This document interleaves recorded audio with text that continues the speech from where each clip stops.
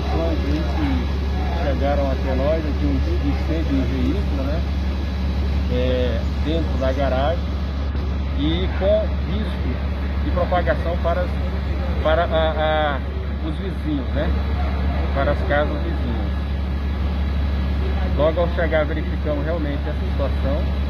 É, tivemos uma dificuldade em abrir o portão, né? Cadeado muito grande mas a gente conseguiu arrebentar o cadeado e controlar o incêndio no veículo, e pelo visto ali deu perda total. É, residência foi atingida, vai ser verificada? Sim, né, o proprietário está aqui no local, ele já nos deu informação que o incêndio só foi no, no, no veículo mesmo, tá? O risco era para a residência vizinha,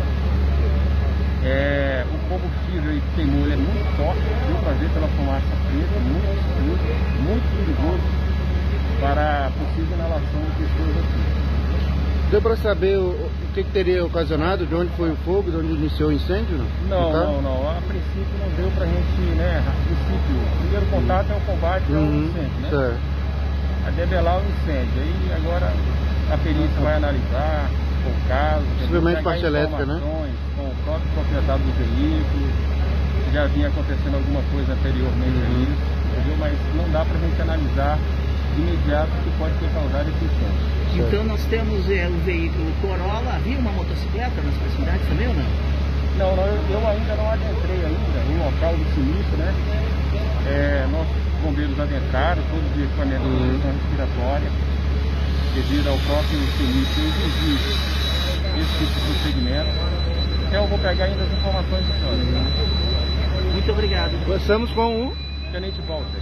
Tenente, Tenente Walter. Tenente Walter. Estamos com o Tenente Walter do Corpo de Bombeiros. Explicou a situação que eles deram prioridade. A prioridade foi para conter o fogo. O proprietário do carro está aqui no local. O Tenente Walter do Corpo de Bombeiros esclareceu que eles conseguiram debelar o incêndio e agora uma perícia deverá apurar as causas do sinistro.